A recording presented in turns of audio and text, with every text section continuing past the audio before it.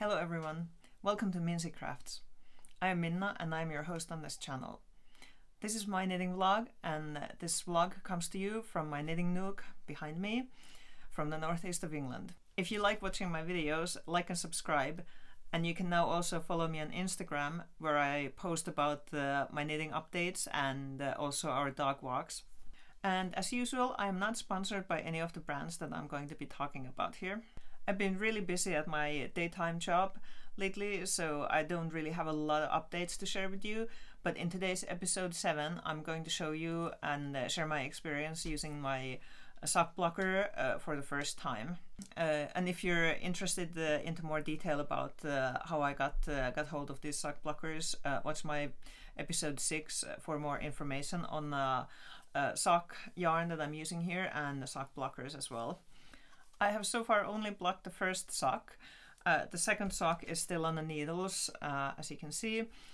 Uh, but I wanted to do this uh, um, kind of separately anyways, because I wanted to compare uh, the blocked sock versus uh, the non-blocked sock. And I also wanted to see how the um, damp sock put it on a wooden blocker would impact the actual tool itself compared to the one that I haven't used yet. So let's have a look. So first of all, uh, uh, what I did, I um, was actually in a little bit of a hurry when I uh, blocked the sock. So I uh, only this time I uh, just wetted the sock, then I uh, gently squeezed the excess water out of it by hands first, and then I gently squeezed re remaining water I could get out with um, putting this in the middle of a towel and wrapping it and then pressing um, then I put it put the sock on the on the sock blocker and I left it to air dry. It took about from noon till uh, following morning for this to air dry. Now I do live in uh, kind of a it was a humid day and uh, in general it's uh, uh, kind of humid here in uh, in England. First of all, it does look very nice when it's on the on this blocker, so it's quite presentable as as is, and we'll uh, let's take this off and let's have a look at the sock blocker itself now at this point. So uh, this one is the one that I have not used that yet and this one is the one that I have used. And uh, to be honest after a single use I can't see any difference here um, yet. And uh, this might be something that I will have to kind of observe how they behave over time. But the I can't see like any kind of water damage uh, at this point. That is uh, that's very good. I'm very happy with this. I've taken uh, the sock uh, off now, so I like to knit very long uh, cuffs on my socks. I like that my calves uh, stay warm in the winter, especially. And now because the sock blocker itself has this shape here, so it's gotten this little divot here, that's fine. And otherwise, I do think this looks very nice. So if you're going to gift um, a pair of socks to someone, I am totally on board now with blocking your socks on these things and uh, gifting them like this. This looks very uh, nice and professional. So shame on me for not using this before. Uh, let's just throw, I know that this is still on, uh, on the needles, but uh, uh, to compare these, if you can see that. So the other one is much smoother looking and the other one is just a little uh, crumpled up but it looks uh, looks very nice blocked. Uh, definitely go for that if you have the option. The style of heel that I do on my socks usually, uh, this is my go-to style of heel, is uh, flap and gusset. You uh, pick some stitches, like two needles worth of stitches on your for your heel flap and then you knit uh, about the same number of uh, rows as you have on the on the needles and uh, and then you do the creases in the middle here kind of and uh, it uh, gives you the gusset style then and uh, that's what I usually it's I find it very simple. I've knitted quite a few socks so it's uh, just easy for me to do on the go as socks are my uh, favorite uh, on the go uh, project to bring along. This one, the first sock, I got really lucky. I, I really like how this transition happens here. Due to the variegated style of the Zauberball Crazy yarn, after I had knitted the uh, the heel, um, it uh, had changed into this kind of a light color that you can see here at the at the bottom of the heel, and so when I started knitting in the round again, it uh, just changed very very uh, quickly uh, and drastically. So there was no like a transition at all, and after knitting maybe like ten rows, I just realized that I don't fancy this at all, that it just doesn't look pretty to my eyes. I'm not usually too picky about these kinds of things, but the, this time it just like really uh, bothered me. So I decided to rip the what I had done, go back to the heel and uh, find a darker spot on the on the yarn and so this is what I found. So these are socks for myself. I think I've said before also is that I use uh, uh, wool knitted socks uh, year round because it's just always so cold in here. Moving on to other updates. Like I said previously, I've been really super busy at my daytime job, so I've not had a lot of time to knit much. Starting with my um, Citron Shawl by Knitty. Um, and I am now in the fourth uh, pattern repeat and I have changed to a longer um, circular needle as well and uh, uh, and I'm just loving how this turns out. I can't wait for this to be uh, finished and blocked and uh, uh, and I can get these little ruffled areas like really showing beautifully. And I do think I'm going to have to increase the size of it a little bit but uh, luckily, uh, the pattern gives you the the repeat um, how to repeat the increase repeats are done, so that's uh, should be fairly easy then. Uh, now, I think I when I introduced this uh, project to you last time, so the pattern I have is a free pattern and it's uh, for a smaller shawl. Now, I found on Ravelry there is also um, a pattern for a bigger shawl, so all the increases have already been counted for you. And um, uh, but that one uh, uh, you have to pay for and uh, uh, I don't remember right now how much that was but um, uh, I'll, I'll link it in in space below.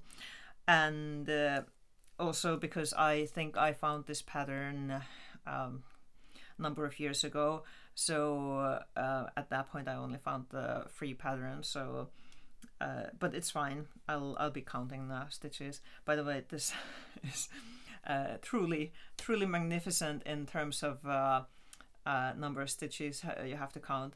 I uh, like to keep these kinds of little markers here, so I put them at the space of 50 stitches roughly, and then it it makes it a lot easier to keep track of the um, the stitches and the counting. My third project that is ongoing is uh, this King Cole uh, chunky sweater that I'm knitting with the King Cole uh, uh chunky uh, yarn, tweed yarn, and um, uh, I so I finished the front. if you remember from previous episodes, so here is the front, and again, just look how pretty that is. The tweed is just so pretty, and I have cast on the back I've only knitted the ribbing and I need to start on the body.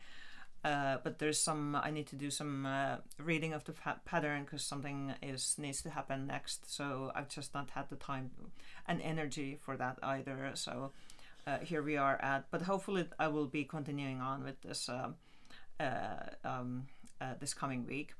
And I also when I did the cast on I used the Chinese waitress cast on and uh, it uh, turned out again. I think it's it's a quite a nice uh, cast on style. I think now that I've used it a few times. In other news, so I am quite uh, fortunate to live in a lovely little village here, and I've learned to know some of the people. There is someone uh, within the village that's a friend of ours and uh, they uh, know someone else who was into crafting and uh, this lady she used to dye yarn and um, uh, sell it online, but she had to close down her shop. But she still has some yarn left over. So I was uh, just a few days ago invited to a yarn party. It was kind of like a yarn Tupperware party, and here, if you see, look at this picture, it was uh, just unbelievable. So much yarn and. Uh, uh uh, so beautiful. So she was selling her stock and. Uh, uh, obviously on a, a, little bit of a discounted prices. I found the following discoveries.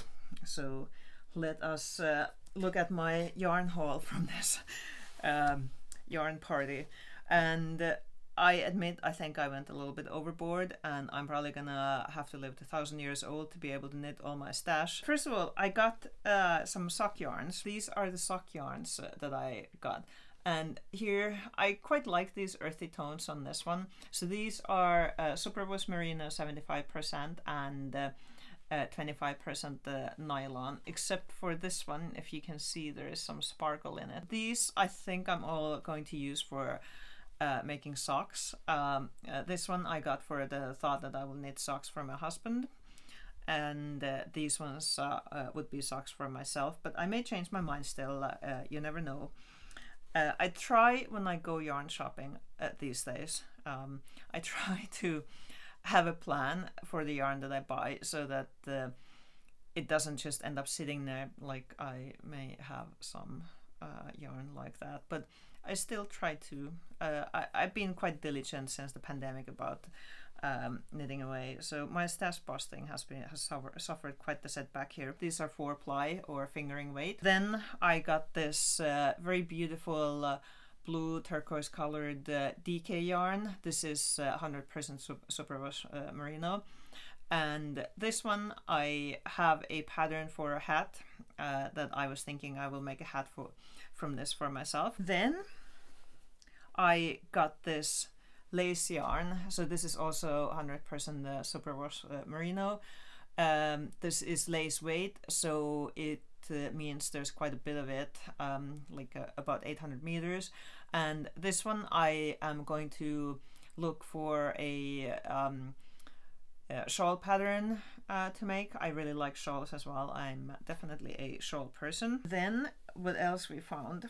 I got two skeins of um, Aran weight yarn or worsted weight. I just recently I was browsing on Ravelry. I found a, a few uh, very nice uh, Aran weight hat patterns uh, for a single skein. I'm thinking about uh, using these for hats again. I was thinking I will use this uh, green uh, blue um, to make a hat for my husband and uh, then I'll use this purple, uh, red, pink uh, for a hat for myself. I have a whole bunch of projects on my mind that I have already kind of queued up, and I try to.